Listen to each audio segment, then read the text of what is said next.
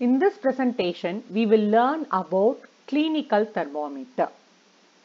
Clinical thermometer is used to measure the temperature of a human body and uh, it is therefore used at home, in clinics and at hospitals to measure the human body temperature.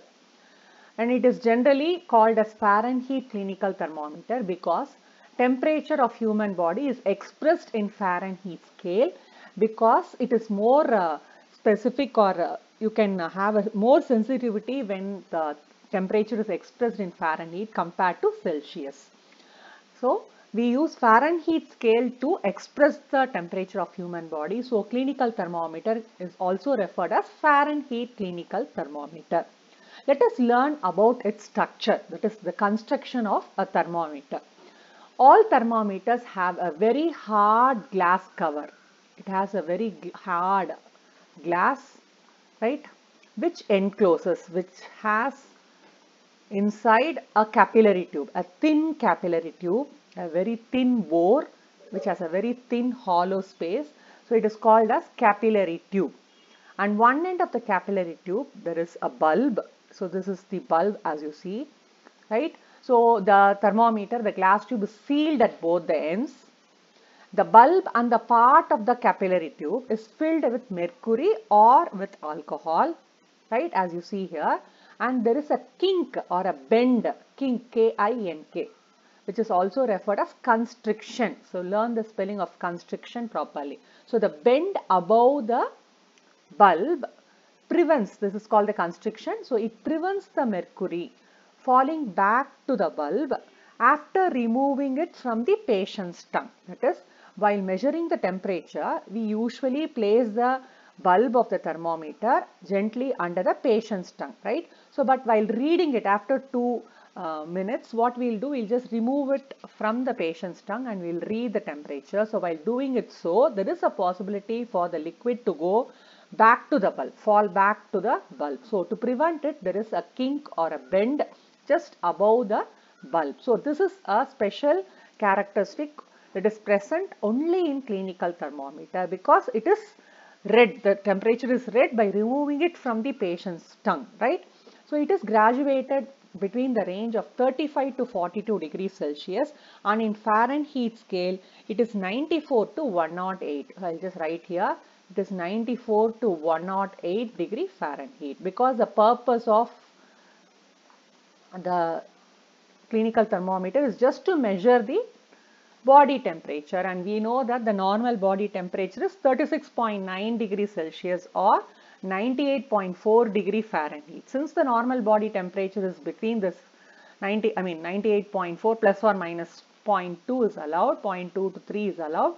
Since the purpose of body, I mean uh, clinical thermometer is to measure the body temperature, it is graduated between 94 to 108 degree Fahrenheit, right? So the clinical thermometer is liquid in glass thermometer and it has a constriction.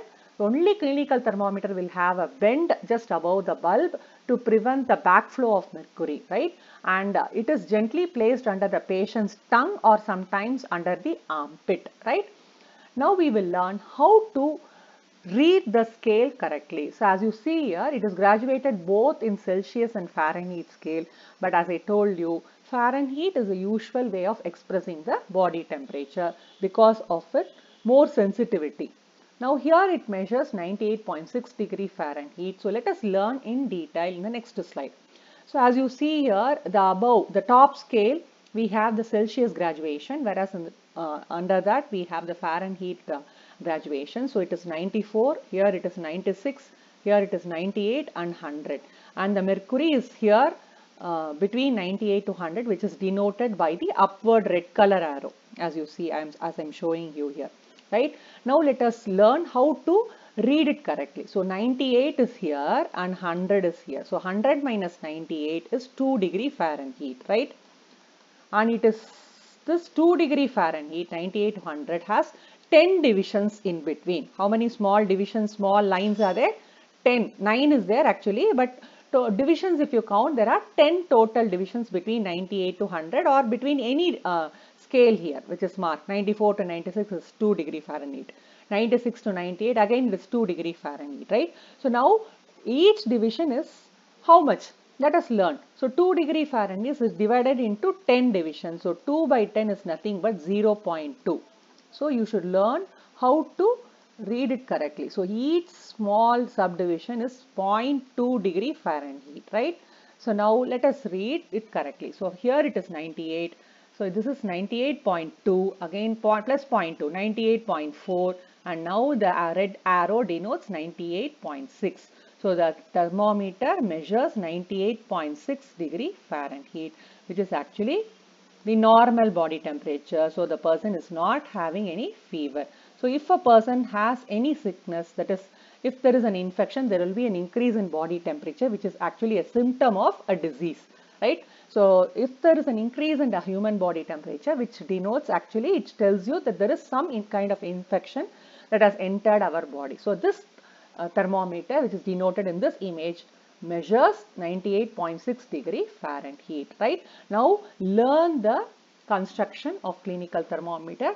So they will ask you what is the purpose of constriction in clinical thermometer and what is the range of scale for a clinical thermometer and what is the normal body temperature. It is 36.9 degree Celsius or 98.4 degree Fahrenheit. So learn the construction of clinical thermometer which is a very important detail answer and you will also be expected to draw the diagram and label the parts. So please note down carefully. Thank you.